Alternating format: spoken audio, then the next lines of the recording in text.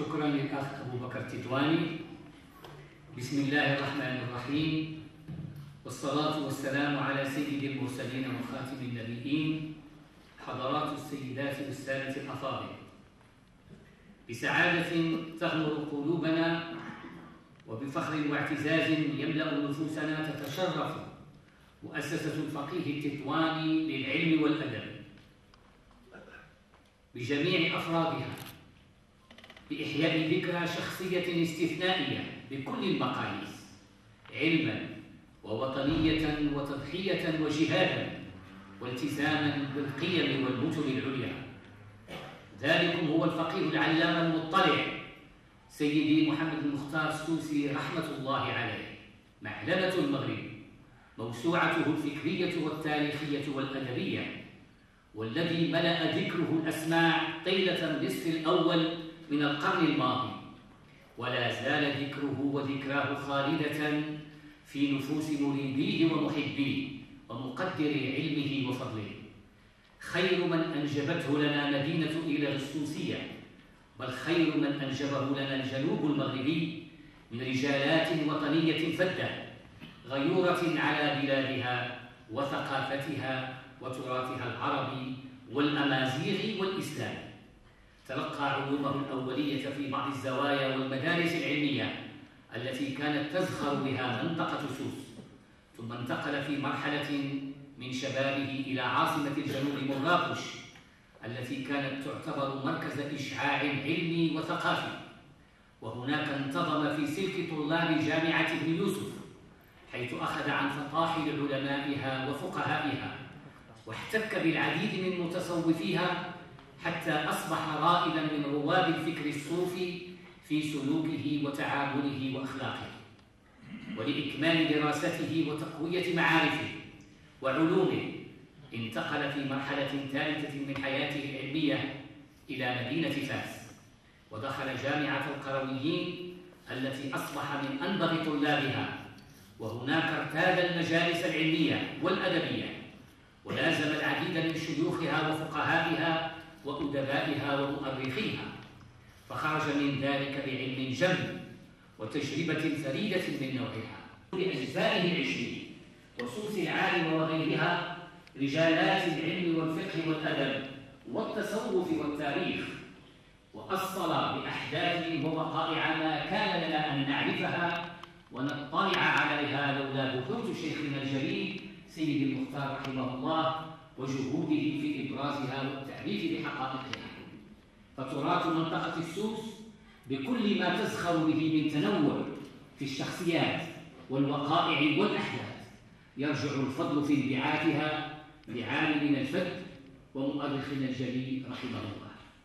وإذا ذكر الأدب والشعر فهو صاحب النظر البليغ والشعر البديع والمعاني الرفيعة ومحسنات البديع التي تنم عن تمكن تام بأسرار اللغة وجمالها مع المحافظة على القافية والعروض وإذا ذكر التصوف فهو الصوفي المعتدل الذي استطاع أن يزاوج بين الفكر السلفي والفكر الصوفي دون مغالاة ولا غلو في تغليب هذا الجانب على ذلك.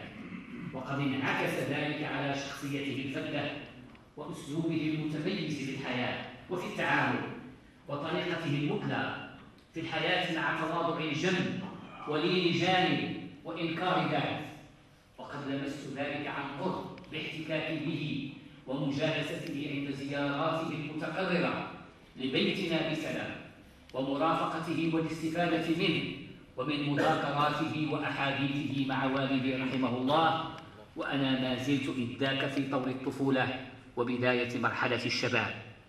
وهنا ترجع بالذاكرة إلى أواخر الخمسينات من القرن الماضي وسني إذ ذاك لم تتجاوز الثانية عشرة من عمري حيث اصطحبني والدي مع أخي الأستاذ محمد حفظه الله في رحلة قام بها رفقة شيخنا الجليل سيد المختار الذي كان وقتها وزيرا للإحداث وكان بالرفقة أيضا ابن الفقيه سيدي سعيد وسيدي عبد العزيز وكانت الواجب وجهة تطوان مرورا بمدينة وزدان ثم الشام وكان المبيت عند مؤرخ تطوان المرحوم محمد داوود. وفي صبيحة اليوم الموالي كانت الوجهة طنجة قاصدين عالمها الجليل المرحوم سيدي عبد الله بن نور وإذا لم تخن الذاكرة فقد كان بالرفقة أيضا العلامة سيدي عبد العزيز بن عبد الله أمد الله في عمره.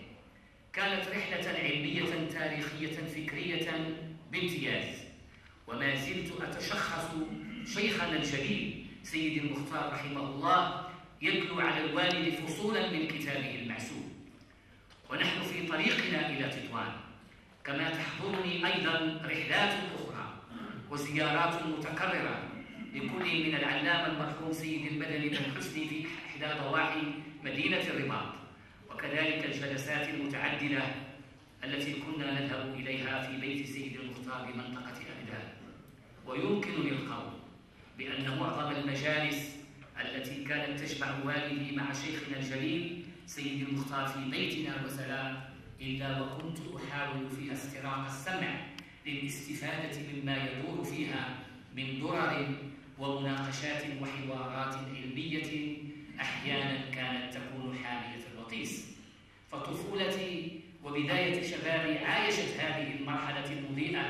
بكل تفاصيلها.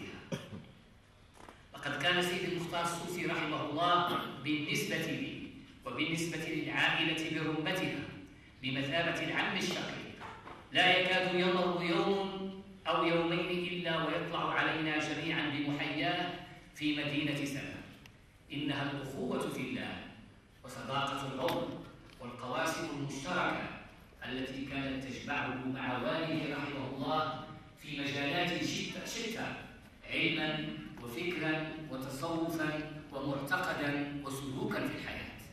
إنها مجرد خواطر واستحضار ذكريات مشوبة بعواطف جياشة أيقظتها هذه المناسبة العزيزة.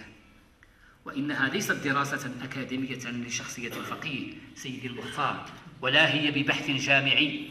إن الجوانب المضيئة والنواحي المشرقة في شخصيته متعددة ومتنوعة كل واحدة منها تستحق أن تفرض بكتاب.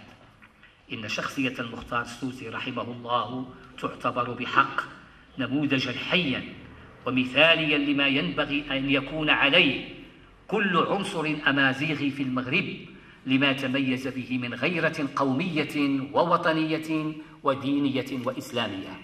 فلنتوجه إلى الله سبحانه وتعالى بأن يشمله برحمته ويغمره بكرمه وجوده وإحسانه وأن يجعله في عداد المؤمنين الصالحين الذين لا خوف عليهم ولا هم يحزنون وأن يجعل الله الخير والبركة في خلفه وأبنائه إنه على ذلك قدير وبالإجابة جدير وإنه نعم المولى ونعم النصير. والسلام عليكم ورحمة الله وبركاته. شكرا الأخ الأستاذ أحمد تطواني